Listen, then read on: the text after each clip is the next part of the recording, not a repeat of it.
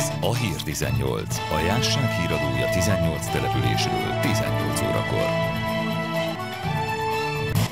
A képviselő Info szeptemberi adásában az ügyeletek visszaállításáról, az iskolakezdési támogatásokról és egyéb aktualitásokról kérdeztük Pócs János országgyűlési képviselőt. Újabb a római birodalom császárkorából származó tárgyi emlékeket találtak Jánosida határában. Három évtizeddel ezelőtt jelent meg a redemció első évfolyama.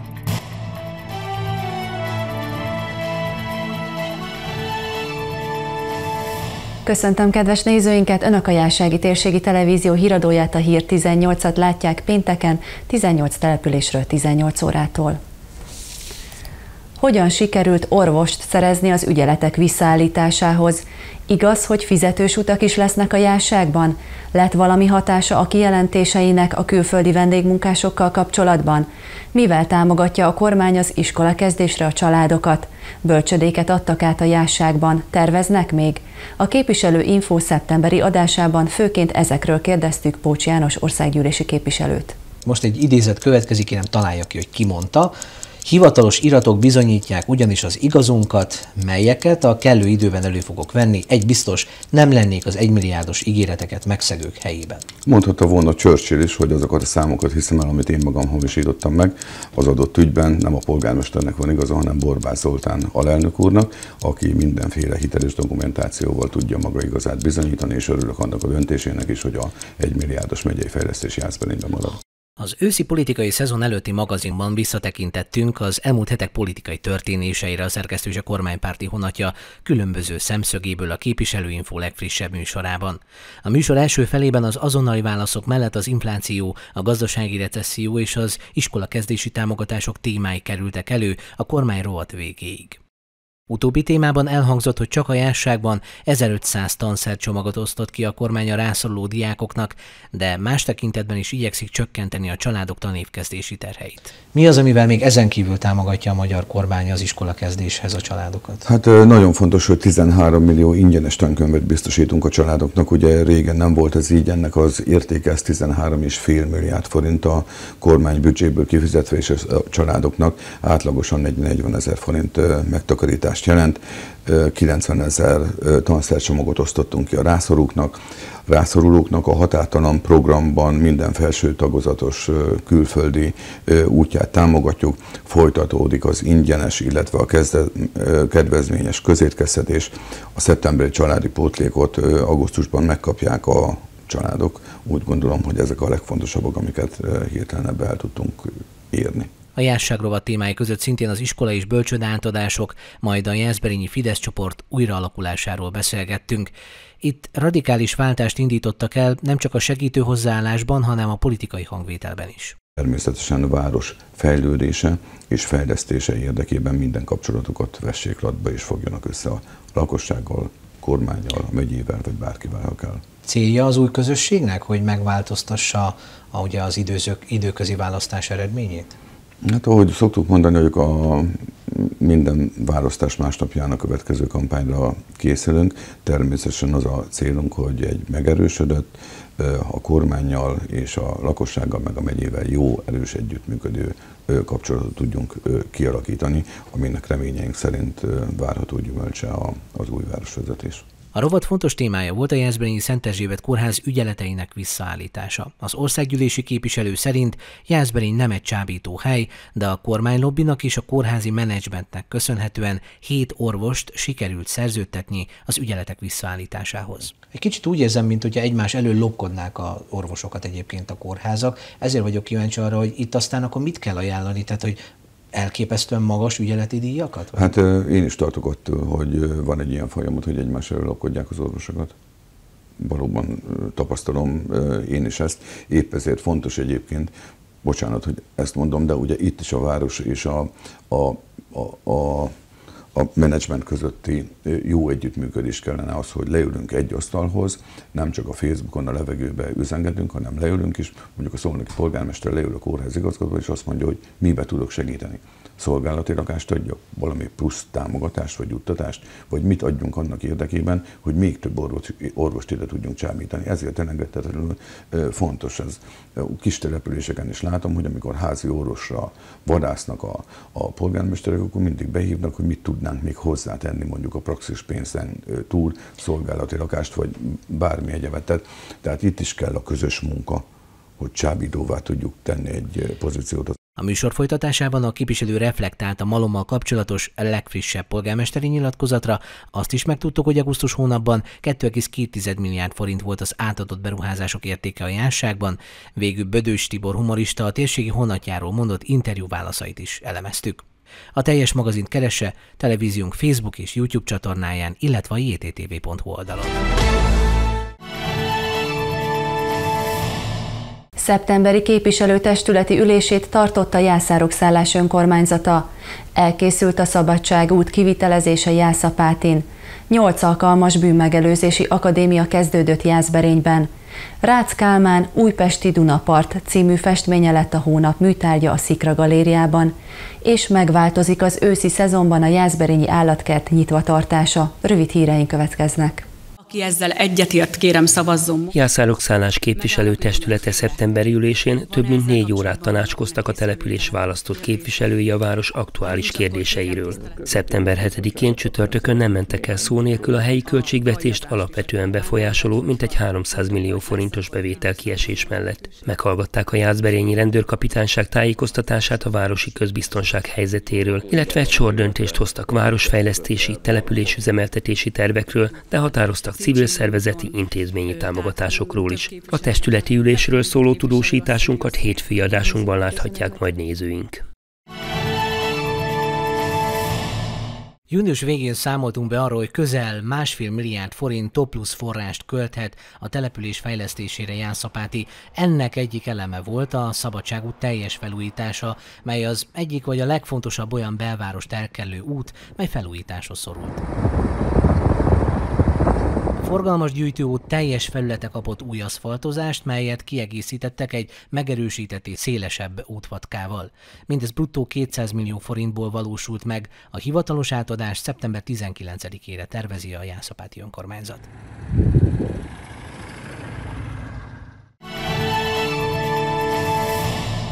A nyári időszakban 30 ezer látogató is betérhet a felújított Jászberényi állatkertbe. Az új kifutókkal, a látványetetésekkel és az időszakos programokkal még mindig a Jásság kiemelkedő turisztikai látványossága a Berényi Zó, ami éves összevetésben közelíti a 100 ezer fős látogatottságot. A nyári időszak után a napokban váltottak őszi nyitva tartásra, melyről közösségi oldalukon tájékoztatták a lakosságot. A módosult nyitvatartás szeptembertől érvényes, e szerint minden nap 9-től 18 óráig látogathatjuk kedvenc állatkertünket. Rácz Kálmán festőművész személye, szervező és művészi tevékenysége különösen fontos és számon tartott a jássági képzőművészet történetében. Születésének 115. évfordulójára emlékeztek a Szikra galériában szeptember 6-án délután, hiszen a hónap műtárgya is az ő alkotása, Újpesti Dunapart című festménye lett. A délutánt zeneszóval nyitották.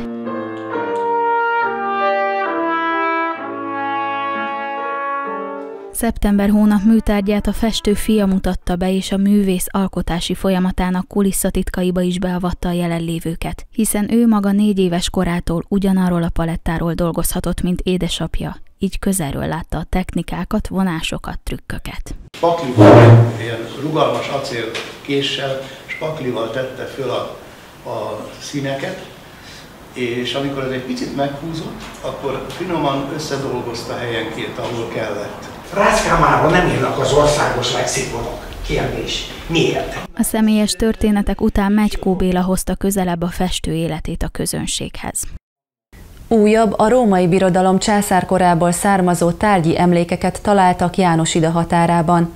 Folytatódott a tavaly felszínre hozott világszenzációt jelentő orvoslelet környezetének feltárása. A nemzetközi érdeklődés nem lankad, ott jártunkkor épp egy német forgatócsoport gyűjtött anyagot a helyszínen dokumentumfilmje elkészítéséhez. Az egy tömör ezüstből készült tükör. Kora császárkori tükör, ez Hát én innen a járságból ezüstükröt nem ismerek, de meg úgy tudom, hogy nincs is olyan nagyon-nagyon sok a barbarikumban. A János hída határában zajló ásatás egyik legérdekesebb leletét mutatta Gulyás András a Jász Múzeum régészes tábunknak. A múzeum és az ELTE Régészet Tudományi Intézete ezen a héten folytatta a tavaly megkezdett világszenzációt jelentő orvosleletet eredményező kutatási programját.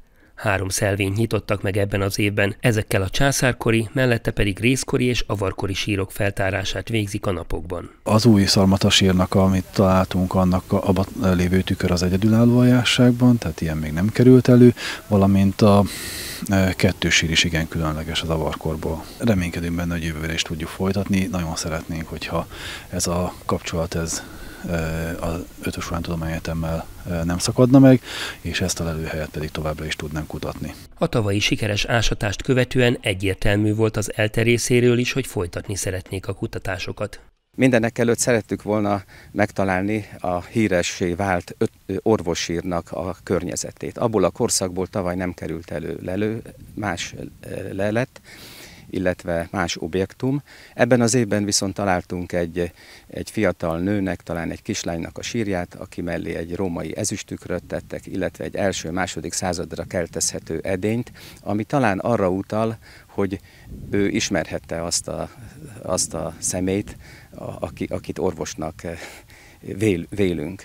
Igaz, a most megtalált sír tájolása eltér az orvos sírtól, így az elhunytakat nagy valószínűséggel nem egy időben temették el. Tovább kell kutatniuk a helyszínen, hogy a korszakról minél több információt gyűjthessenek. A sírban talált ezüstükör különleges a barbarikumban. A római provincia Pannonia területén is különleges lenne egy 12 cm átmérőjű, csodálatosan megművelt ezüstükör, nemhogy a barbarikumban, a szarmata barbarikumban, ahol általában bronztükröket tömegével találunk, de nem ezüstből. Az ezüst önmagában ez az előkelő melléklet jelzi, hogy egy rangos szemét temethettek el itt is, ami illene ahhoz, hogy itt mondjuk egy, egy szarmatokori elit csoport temetkezé helyének egy részletét találtuk meg. Ráadásul az ezekből a korokból származó sírokat, mint a példák is mutatják, nem rabolták ki. Ellentétben a helyszín avarkori sírjait, amelyekből még a csontokat is elvitték. Ez a tény persze azt is bizonyítja, hogy ott valóban gazdag, értékes kincsekkel teli temetkezési helyet találtak a sírrablók. A tavalyi lelet együttes iránti nemzetközi érdeklődés nem csitul. Ott jártunkkor épp egy német forgatócsoport gyűjtött anyagot készülő dokumentumfilmjéhez. A korszak kutatója pedig a lelet párhuzamait vizsgálva járt Németországban idén-nyáron. Ez a fölfedezés és a hír így kvázi önálló életre kelt, és körbefutotta a világot, minden túlzás nélkül ezt mondhatjuk. És hát eh, ennek kapcsán ez jutott el egy eh, műheni eh, dokumentumfilm forgató cég látókörébe, és, ők, ők keresték meg az Ötvös Lorán Tudományegyetemet, egy, egy fölkérés érkezett, hogy forgathatnának-e itt a, a az orvossírról, illetve az eszközökről, illetve az előkerülési körülményekről. A tükrös sír megtalálásával az idei kutatás elsődleges célját már most teljesítették. Most itt egy ilyen kiterjesztett szelvényben állunk, és nagy örömünkre sikerült is találni még a korszakba tartozó egyéb leletet is, úgyhogy tulajdonképpen az ásatásunknak, illetve a, a, ez a tervezett ásatás kutatásnak a célja, elsődleges célja teljesült. A, a további feladatunk pedig az, hogy a, az, ezek mellett az abarkori temető, amit található, annak a a részletesebb vizsgálata. A feltárás, amely a főkutatási célok mellett az ELTE régésztan hallgatóinak tanásatása is a következő héten még folytatódik. A szakemberek arra számítanak, hogy újabb érdekes és fontos tárgyi emlékek kerülnek elő a kutatott korszakokból. Három évtizeddel ezelőtt jelent meg a Redemció első évfolyama. A néprajzi helytörténeti értékeket bemutató lap megalapításának jubileumán a Jász Múzeumban gyűltek össze a kiadvány szerkesztői, szerzői és támogatói. Hamarosan mutatjuk a részleteket, de előtte egy másik hír. Négy generáció munkája, hogy az Álomutazás a természetben című könyv az első sorok megírása után körülbelül 70 évvel megjelenjen. A Bató család egy pár évtizede készített, poros piszkozatra bukkant otthonában, majd a karácsonyi meghitt beszélgetések alatt azt a döntést hozták, kiadják idősebb Bató László papírra vetett képzeletbeli utazását. A könyvet szeptember 6-án mutatták be a Jász Múzeumban. Megjelent idősebb Bató László Álomutazása természetben című könyve. E kötet előkészülete hosszú évtizedekre nyúlik vissza, és nevezhetjük véletlennek, hogy megjelent. Hiszen kéziratáról senki sem tudott, amely egy eldugott helyen porosodott. Különleges négy generáció összefogás eredménye a szeptember 6-án este bemutatott könyv. Valamikor az 50-es években az én nagyapám, az apukám apukája, én már őt nem ismerhettem, írt egy könyvet bejárta hát álmában, illetve hát képzeletében Európát és Afrikát elsősorban, illetve Erdélyt, és mindezt papírra vetette, kis kockás füzetben, hol tollal, és ezt a kéziratot nem olyan régen megtalálta az apu. Tavaly karácsonykor pedig eldöntötték, hogy mások számára is szeretnék láthatóvá tenni, ahogyan ők fogalmaztak a kincset. Így Éva lánya, tehát már a Dédunoka el is kezdte elektronikus formába felvinni. Ő is szerkesztette egyébként, itt a jásságból kértünk meg Juditot illusztrálni még hozzá, és most arra alakult úgy, hogy a könyvet sikerült kiadni. Műben népdalutalások is felfedezhetők, hogy még különlegesebbé tegyék, QR kódot rejtettek el az egyik oldalon, amely beolvasásával az olvasó meghallgathatja a dallamokat, amelyeket az alkotó unokája énekelt fel személyesen. Ezekkel a dallamokkal kezdődött el szerdán este a könyvbemutató a Jász Múzeumban. Idegenek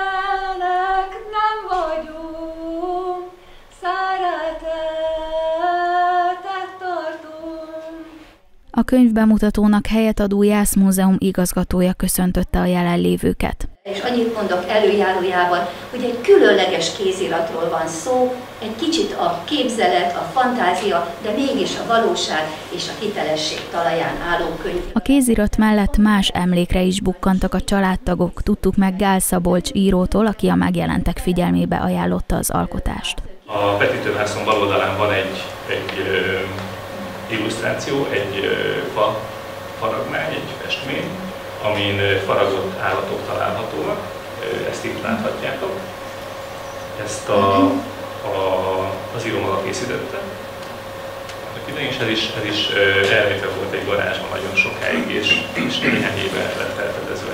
És nem maradhatott el az estéből a felolvasás sem. Forgács Gábor színművész szinkronszínész most nem a Madagaszkárból Julian királyt, vagy a Némó nyomából a pörölycápát, hanem az idősebb Bató László természeti álomutazását szólaltatta meg. A gólya a gázlómadarak közé tartozik. Fehér, számtollai feketék. A vizes pocsványos lakója. Hosszú, vörös lábaival vízben gázolva keresi táplálék szintén piros, hosszú csőre, igen alkalmas a vízben való halászgatásra. Van tiszta fekete faja is, ez azonban sokkal ritkább. Három évtizeddel ezelőtt jelent meg a Redemció első évfolyama, a néprajzi helytörténeti értékeket bemutató lap megalapításának jubileumán a Jász Múzeumban gyűltek össze a kiadvány szerkesztői, szerzői és támogatói. A kerek évfordulót ünneplő rendezvényen nem csak az elmúlt évtizedek történeteit idézték fel, hanem megköszönték a helyi civil közösségek tagjainak folyamatos támogatását is. 30. évfolyamához érkezett a Redemció honismereti újság, az egykori Jászkun 3-as kerület helytörténeti és néprajzi emlékeit és értékeit bemutató közreadó kiadvány szerkesztői, szerzői és támogatói találkoztak szeptember 7-én a Jász Múzeumban öt évenként mindig sort kerítünk arra, hogy egy kicsit megálljunk a rohanó világunkban, és megköszönjük azoknak a kollégáinknak, akik valamilyen munkában komoly segítséget nyújtanak. A redemció lapunkat 30 évvel ezelőtt indítottuk el, pontosabban úgy 30, hogy 30. évfolyamában jelenik meg ez a honismereti lap, ami önmagában is egy ritkaság. A lap három évtizeddel ezelőtt az első összekötő kapcsot jelentette az 1876-ban megszüntetett Jászkun 3-as kerület, a Jásság, a Kiskunság és a Nagykunság települései között. Az alapítás ötlete Muharai György és Hortiné dr. Bató Edith közös gondolkodásából született. Abban az időben a, a helytörténeti néprajzi írásoknak nem volt helye igazából. Tehát akkor a helyi újságok egyrészt még nem is nagyon indultak be, de ha beindultak is, valahogy nem adtak helyet a helytörténeti írásoknak, és egyre több olyan esemény történt, ahol, amelyeknek valahol meg kellett volna jelenni.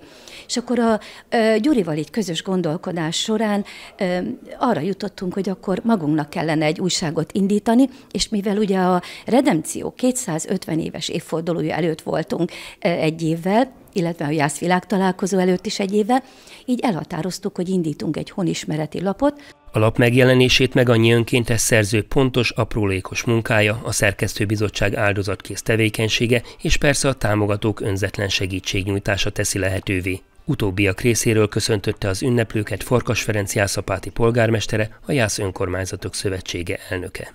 Kiemelt feladatnak tekintjük a rólunk és kun testvéreinkről szóló folyóirat a redemció kiadásának elősegítését. Ez a kiváló szellemi műhely Hortiné dr. Batu Edith vezetésével megérdemli a gratulációt, hiszen újabb öt év telt el a negyedszázados évforduló óta, amelyet, ahogy körülnézek, szinte mindannyian itt ünnepeltünk. A nehéz időszakokban is talpon maradó civil lap munkáját, az általa közvetített értékek bemutatásának sokszínűségét méltatta az egybegyűlteket köszöntő Ványenő Jászkon főkapitány, dr. Debreceni Dropán Béla a Honismereti Szövetség elnöke. Pap Izabella nyugalmazott levéltáros alap 30 éves történetét idézte fel.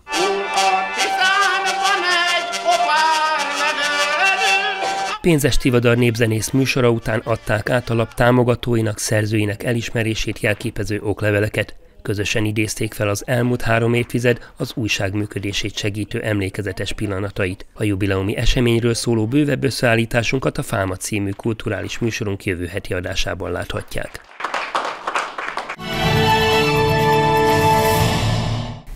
Lassan-lassan elkezdődnek a teremsportok is, a kosárlabda mellett a női röplabda bajnokság is. A Jászberényi Röplabda Klub női csapata új edzővel készül az MB2-ben való szereplésre. Az utánpótlás bázisuk pedig olyan széles, hogy minden korosztályban indítanak csapatokat. Mint ismert, a Jászberényi Röplabda Klub fiatalokból álló női csapata kiesett az NB1-ből, és augusztus 1-től a Nemzeti Bajnokság második osztályában lépnek pályára. A klub vezetésében is változás történt, hiszen ezen túl Litkái Gábor felügyeli a szakmai munkát, valamint az MB2-es csapatot is egy új edző irányítja. Az Ország Larissa nyerte a pályázatot, amit kiírtunk, Hát őről tudni kell, hogy ugye Egerben még ő a bajnokcsapat, a Kasziba féle bajnokcsapat tagja volt. Annak idején éppen az utolsó évét itt Jászberénybe töltötte, a Team Áredittel együtt itt vezettek le.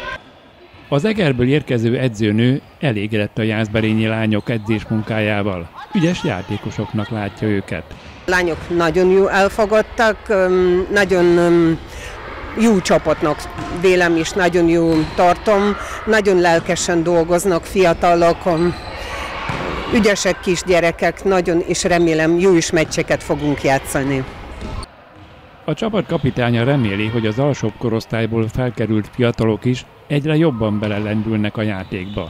Annál is inkább, hát hamar megszerették az egykori EGRI bajnokcsapat tagját, aki remekül végzi munkáját, mint edző.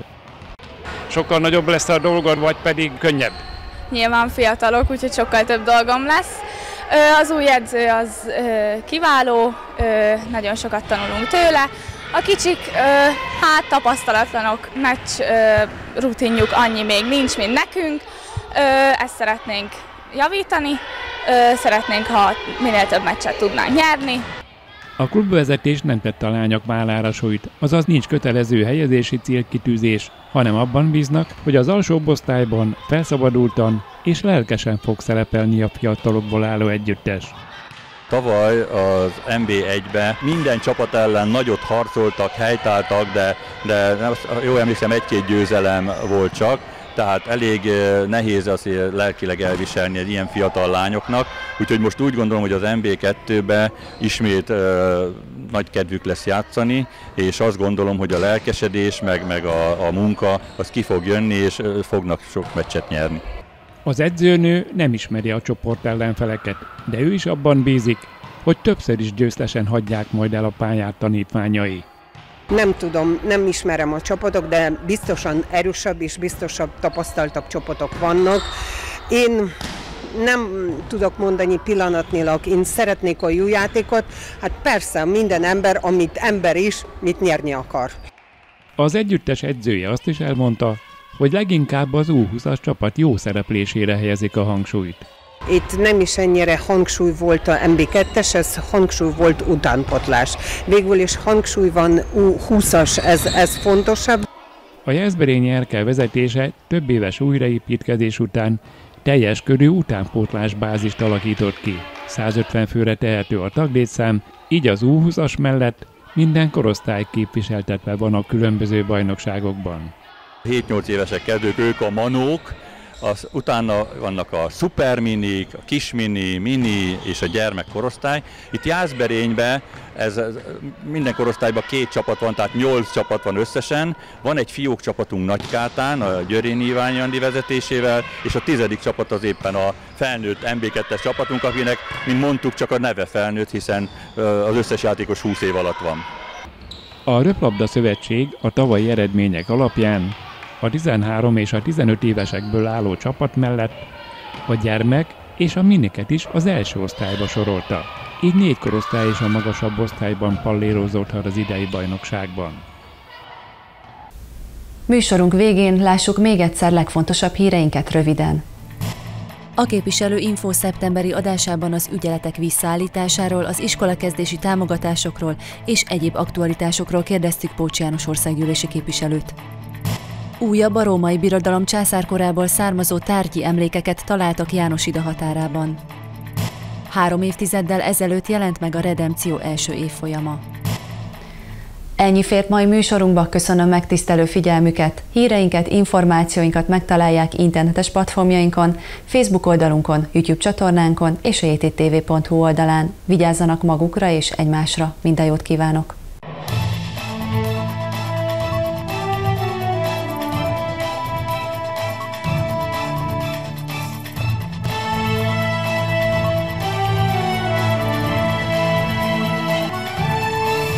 Stúdiódíszletet a Perlaki reklám készítette.